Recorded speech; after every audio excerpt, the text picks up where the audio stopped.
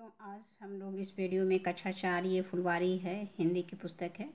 इसमें हम लोग इसमें अभ्यास प्रश्न देख रहे थे। तो आज हम लोग ये पाठ तेरा हौसला,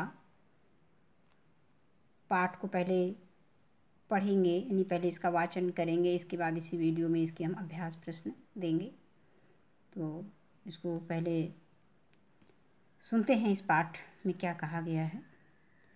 जिससे कि हमें प्रश्न उत्तर, इसके अभ्यास प्रश्न हल करने में आसानी रहे, समझने में आसानी रहे। जुलाई का दूसरा सप्ताह, पंद्रह जुलाई सन उन्नीस अपनी माँ के साथ हमारी कक्षा में एक बच्चा आया। उसका उसी दिन दाखिला हुआ था।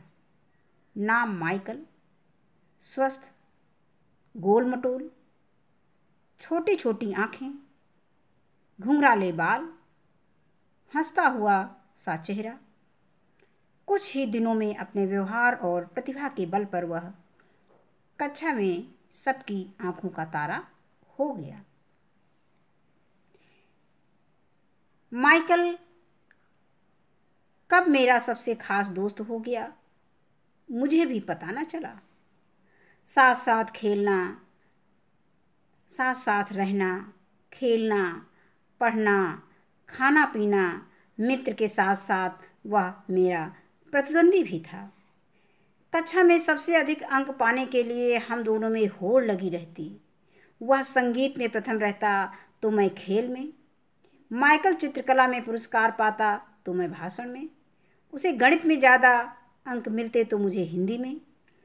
एक दिन सुबह स्कूल खुलते ही प्रधानाचार्य जी ने हमें अपने कक्ष में बुलवाया, बुलवा लिया। बोले, बेटा, तुम दोनों ने हमारे विद्यालय का सदैव गौरव बढ़ाया है। चेन्नई के बच्चों की राष्ट्र स्तरीय प्रतियोगिता होने वाली है। मैंने वहाँ के लिए तुम दोनों का नाम भेज दिया है। मैं चाहता हूँ कि तुम देश भर में अपने विद्यालय का नाम रोशन करो। तुम्हारी शिक्षिका मंजीत साथ रहेंगी। अगले सप्ताह ही जाना होगा। इसीलिए मंजीत जी से मिलकर तैयारियाँ कर लो। हमारी खुशी का ठिकाना ना रहा। मैं जब मंजीत मैडम से मिलकर बात की और जी जान से प्रतियोगिता की तैयारियों में जुट गए। पूरे एक सप्ताह तक हम चेन्नई में रहे। विभिन्न प्रतियोगिताओं में भाग लिया।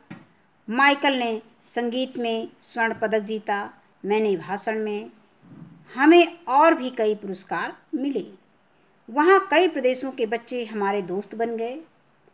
अब हम जल्द से जल्द घर पहुंचकर इस खुशी को सबसे साझा करना चाहते थे। बस पकड़ने की जल्दी में माइकल ने चौराहे पर जली लाल बत्ती नहीं देखी और दूसरी ओर से आ रहे वाहन की चपेट में आ गया। होश आने पर वह अस्पताल में था और दोनों पैर गंवा चुका था। रंग में भंग पड़ गया। सबकी आँखों में सिर्फ़ आँसू थे। सुना था कि विपत्ति कभी बताकर नहीं आती। कई बार हमारी जरा सी असावधानी जीवन भर का दुख बन जाती है। वापसी में ऐसा ही हुआ। इस बीच माइकल के पिताजी का तबादला चंडीगढ़ हो गया। अपनी माँ, पिताजी और बहन के साथ माइकल शहर छोड़कर छोड़ रहा था। यानी माइकल शहर छोड़ रहा था। तो लग रहा था जैसे मेरे शरीर से कोई प्राण ले रहा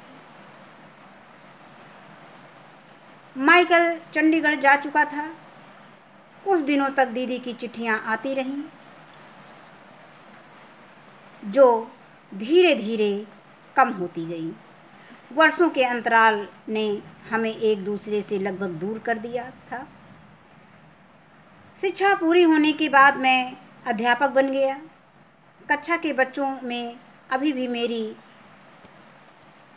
निगाहें माइकल को ढूंढती, पर माइकल का कोई अता पता न था। कहते हैं इतिहास खुद को दोहराता है।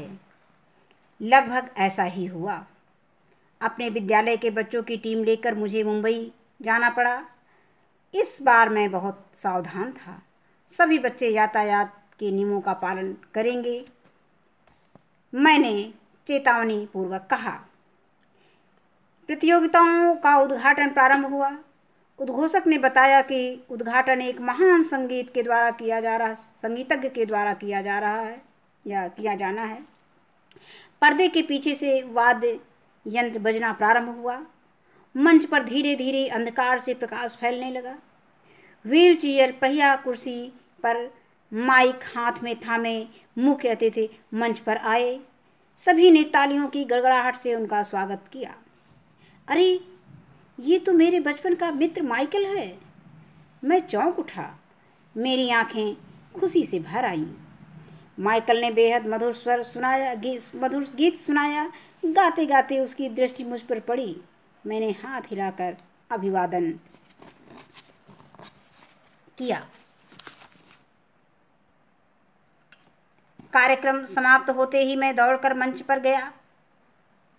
माइकल ने मुझे गले लगा लिया। हम दोनों बचपन के मित्र हैं। माइकल ने मेरे विद्यार्थियों को बताया। इसके बाद माइकल हम सबको वहाँ ले गया जहाँ वह रुका हुआ था। उसने बताया, तुम्हें याद है ना अवनीश? यह दुर्ग, वह दुर्घटना टांगे गंवा देने पर मैं जीवन से निराश हो गया था। अपने आप को अक्षम समझने लगा था। उस समय रोज, रोजी दीदी ने मुझे हताशा से उबारा। दीदी मुझे संभालती, किताबें लाती, कैसेट लाती उन्होंने मुझे गिटार भी लाकर दिया। तुम एक दिन ज़रूर प्रसिद्ध संगीतकार बनोगे, दीदी कहती। धीरे धीरे मैंने संगीत का अभ्यास प्रारंभ किया और अपने सपने को साकार किया। मैं अपना एक संगीत का स्कूल भी चलाता हूँ, जहाँ तमाम बच्चे मुफ़्त में संगीत सीख रहे हैं। बच्चे उत्सुकता से माइकल की बातें सुन रहे थे। वह कह रहा था, प्यारे बच्चों बड़ी से बड़ी विपत्ति भी सब कुछ समाप्त नहीं करती। विपत्ति के समय हौसला बनाए रखना ज़रूरी होता है। अगर हमें में, अगर हम आप में हिम्मत है, हौसला है तो आपको अपना लक्ष्य प्राप्त होकर रहेगा। अब हम इसके बाद, इसके अभ्यास प्रश्न देखेंगे। इस पाठ में बोध प्रश्न दिया गया है, उत्तर लिखिए। तो इन सभी प्रश्नों के उत्तर कॉपी पे हमने लिख लिए हैं। बोध प्रश्न उत्तर लिखिए। पहला प्रश्न दिया है कि माइकल किस गुण के कारण सबकी आँखों का तारा हो गया था? तो इसका उत्तर है कि माइकल अपनी असाधारण बुद्धिमत्ता और अपने अच्छे व्यवहार के कारण सबकी आँखों का तारा हो गया था। माइकल के साथ दुर्घटना क्यों हुई? तो इसका उत्तर है कि माइकल के साथ उसके असावधानी व जल्दबाजी के कारण दुर्घटना हुई। क्योंकि जैसा कि हमने पाठ में पढ़ा तो उसमें बताया गया है कि वो बस पकड़ने के लिए उसने रेड वो सिग्नल को नहीं देखा था। इसलिए जो है, उसका पैर जो है कट गया था और इस तरह से उसके साथ दुर्घटना हो गई। इसके बाद प्रश्न संख्या गा है, दुर्घटना से माइकल पर क्या प्रभाव पड़ा? दुर्घटना से माइकल मानसिक रूप से असंतुलित हो गया था। अगला प्रश्न है, रोजी ने माइकल को हताशा से कैसे उबारा? तो इसका उत्तर हो जाएगा कि रोजी ने माइकल को हौसले, परिश्रम, लगन व सेवा भाव आदि गुणों से हताशा से बचाया या उबारा। अगला प्रश्न है, माइकल अपना सपना कैसे पूरा कर पाया? माइकल, उत्तर है, माइकल स्वयं के हौसले, अपनी लगन, परिश्रम और रोज़ दीदी की सहायता सॉरी, रोजी दीदी की सहायता, यहाँ पे रोज़ दीदी।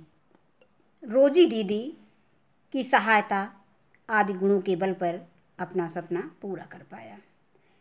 इसके बाद प्रश्न संख्या दो है कि किसने किससे कहा, बेटा, तुम दोनों ने हमारे विद्यालय का सदैव गौरव बढ़ाया है, ये प्रधानाचार्य जी ने लेखक और माइकल से कहा।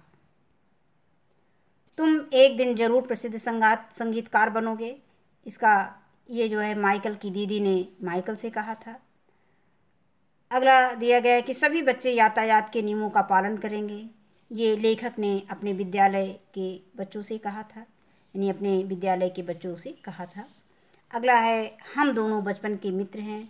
ये माइकल ने लेखक के विद्यार्थियों से कहा था कि हम दोनों बचपन के मित्र हैं। यानी माइकल ने जो लेखक के विद्यार्थी को मतलब लेखक अपने विद्यार्थियों को जो लेकर आया था, उनसे अपना परिचय बता रहा था कि हम और माइकल दोनों विद्या मतलब मित्र हैं बचपन के।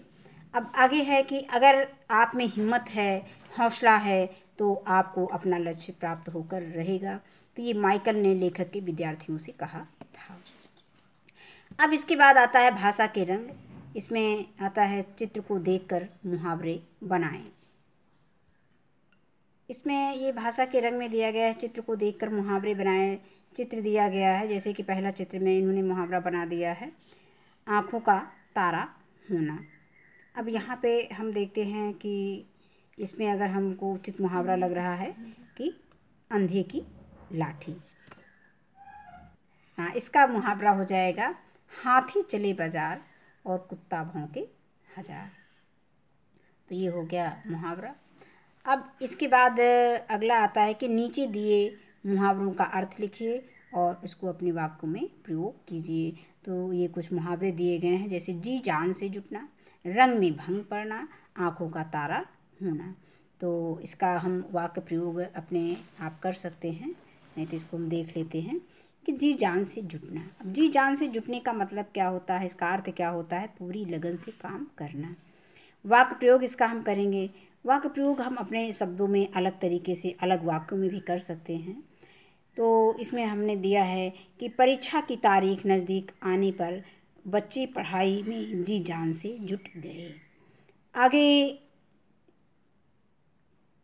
आगे है दूसरा, रंग में भंग पड़ना, बाधा आना, वाक प्रयोग इसका हो जाए। पटाखा छुड़ाते समय राम का हाथ जल गया, जिससे त्यौहार में रंग में भंग पड़ गया। अगला दिया है आँखों का तारा होना, बहुत प्यारा होना। इसका वाक्य प्रयोग सभी बच्चे अपने माता पिता की आँखों के तारा होते हैं। आँखों का तारा होते हैं। इसके बाद आगे दिया गया शब्दों का शुद्ध उच्चारण और सुलेख लिखिए। सुलेख बच्चे अपनी कापी पे लिखेंगे।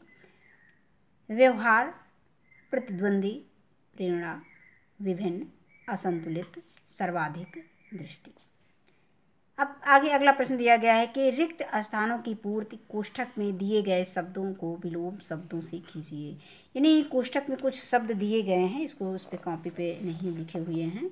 ये हम देख लेते हैं कि कोष्ठक में कौन कौन से शब्द दिए गए हैं। तो हम देखते हैं कि कोष्ठक में दिया गया अंधकार, आशा, रोता हुआ, असावधान, शत्रु। तो अंधकार का प्रकाश हो जाएगा, आशा का निराशा हो जाएगा, विलोम शब्द रोता हुआ का हंसता हुआ, असावधान का सावधान और शत्रु का मित्र हो जाएगा। अब जैसे इसमें बालक की छोटी छोटी आँखें, घुंघराले बाल और अब यहाँ पे हम क्या लिख सकते हैं? अब यहाँ रोता हुआ है तो इसका हम विलोम शब्द यहाँ पर हंसता हुआ चेहरा था, ये लिख सकते हैं। इसी तरह से हम इसको विलोम शब्द के रूप में शब्द को लिखेंगे। तो बालक ये तो हो चुका है। अब दूसरा है, टीम लेकर मुंबई जाते समय में बहुत सावधान था। उसमें असावधान दिया है, असावधान का विलोम सावधान हो जाएगा। मंच पर धीरे धीरे प्रकाश फैलने लगा, अंधकार फैलने लगा उसमें तो इसमें प्रकाश फैलने लगा। अब माइकल ने छात्रों को बताया कि हम दोनों बचपन के शत्रु तो है नहीं, शत्रु का विलोम शब्द क्या हो जाएगा? मित्र। तो यहाँ पे हम क्या लिखेंगे? मित्र हैं। रोजी दीदी अगला है, रोजी दीदी ने मुझे निराशा से उभारा। अब इसके बाद आगे जो प्रश्न दिया गया, उसको हम टेक्स्ट बुक से अगला प्रश्न है कि इन वाक्यों को ध्यान से पढ़िए। तो भूतकाल में वाक्य दिया गया है कि माइकल ने गाना गाया, रोजी पुस्तक लाई। और वर्तमान काल में सेंटेंस दिया गया है कि माइकल गाना गा रहा है, रोजी पुस्तक ला रही है। और इसको जब हम भविष्य काल में लिखेंगे तो हम बोलेंगे कि माइकल गाना गाएगा और रोजी पुस्तक लाएगी। अब इसी के आधार पर हमें कुछ वाक्य दिए गए हैं। उसमें हमें ये देखना है कि कौन सा काल किसमें लिखा गया है तो ये हमें सामने लिखना रहेगा। तो अब नीचे दिए गए वाक्यों के सामने ए, उनके काल लिखिए। तो दिया गया है कि पिताजी वाक्य दिया गया है कि पिताजी ने बहुत सी बातें बताई तो ये भूतकाल हो जाएगा। कल विद्यालय की छुट्टी रहेगी, ये भविष्यत काल हो जाएगा। रजिया खाना खा रही है, ये वर्तमान काल हो जाएगा। अगले माह दीपावली है, ये भविष्यत काल हो जाएगा। और राघव और श्रेया व्यायाम कर चुके हैं, ये भूतकाल हो जाएगा। अब इसके बाद है अपनी कलम से। कहा है, बस पकड़ने की जल्दी में माइकल ने चौराहे पर जली लाल बत्ती नहीं देखी और दूसरी ओर से आ रहे वाहन की चपेट में आकर अपने दोनों पैर गंवा दिए। आपने भी ऐसी कोई घटना कोई घटना देखी सुनी होगी तो जो जरा सी असावधानी के कारण घटी हो, अपने शब्दों में लिखिए। तो ये बच्चों के बीच में हम चर्चा करेंगे, बच्चों से पूछेंगे और नहीं तो उनको कोई घटना बताएँगे। अब इसके बाद दिया गया है कि नीचे दिए गए यातायात से संबंधित संकेतों का क्या आशय है, लिखिए। इसके बाद अगला प्रश्न इसमें दिया गया है कि नीचे दिए गए यातायात से संबंधित संकेतों का क्या आशय है? लिखिए। अब यहाँ पे ये दिया गया है चित्र में तो इसमें हार ना बजाएँ ये उदाहरण दे दिया गया है। इसके बाद है ये चिन्ह का मतलब होता है कि पब्लिक टेलीविज़न और इसके बाद हम्म। आता है यहाँ पर ये लाल लाल रंग का गोला बना हुआ है तो इसका मतलब होता है कि रुकें। और ये है आगे बस अड्डा है और इसका निशान है धीरे चलो आगे बच्चे खेल रहे हैं। और ये पीला है पीले का मतलब होता है पीले रेड लाइट का मतलब क्या हो पी, पीले लाइट का मतलब क्या होता है तैयार रहें। और आगे इसमें देखा है स्टॉप स्टॉप का मतलब रुको। और यहाँ पे ये क्रॉसिंग का निशान बना हुआ तो ये रेलवे क्रॉसिंग का निशान है। और यहाँ पर हरी बत्ती है यानी हरा गोले में हरा रंग दिखाया गया है। इसका यातायात से संबंधित जो इसका संकेत है इसका संकेत है कि चलें। अब आता है कि हमें सड़क पर चलते समय क्या क्या सावधानियाँ रखनी चाहिए। तो हम देखते हैं कि क्या क्या सावधानियाँ रखनी चाहिए। तो हमें सड़क पर बाईं ओर चलना चाहिए। बहुत सारी सावधानियाँ हैं जो कि हमने कुछ सावधानियों को इसमें दिया है। और बहुत सावधानी से हमें सड़क पार करनी चाहिए। आगे दिया गया है कि हमें अपनी कानों में ईयरफोन लगाकर सड़क नहीं पार करनी चाहिए और ना ही गाड़ी चलाना चाहिए। आगे दिया गया है कि हमें शराब पीकर वाहन सड़क पर नहीं चलाना चाहिए और इसके बाद आगे है कि सड़क पार करते समय हमें मोबाइल का प्रयोग नहीं करना चाहिए। अगला है कि हमें हमेशा जेब्रा क्रॉसिंग का से सड़क पार करनी चाहिए। यानी जहाँ जेब्रा क्रॉसिंग बना हो, वहीं से हमें सड़क पार करनी चाहिए। आगे दिया गया है कि वाहन को निर्धारित गति सीमा से अधिक तेज़ नहीं चलाना चाहिए। तो ये हैं कुछ बातें। इसके अलावा भी कुछ बातें और भी दी गई हैं इसमें, जो हमें जानना है और बच्चों को बताना भी है। हमेशा पैदल पार पथ यानी पार पथ जो जेबरा क्रॉसिंग होती है, उसको हम पार पथ बोलते हैं। पार पथ यानी जेबरा क्रॉसिंग का प्रयोग करना चाहिए। और दो पहिया वाहन चलाते समय हेलमेट पहनना अनिवार्य होता है। और अगर आप चार पहिया वाहन चला रहे हैं तो सीट बेल्ट ज़रूर लगाएँ, अनिवार्य रूप से पहनना है। और वाहन को निर्धारित गति सीमा से अधिक तेज़ नहीं चलाना चाहिए। वाहन चलाते समय मोबाइल फ़ोन का प्रयोग नहीं करना चाहिए और दिव्यांगों को विकास की मुख्य धारा में शामिल करने के उद्देश्य से 16 दिसंबर 2016 दिव्यांगजन अधिकार विधेयक 2016 पारित किया गया है। तो आज की वीडियो में बस इतना ही। वीडियो देखने के लिए धन्यवाद।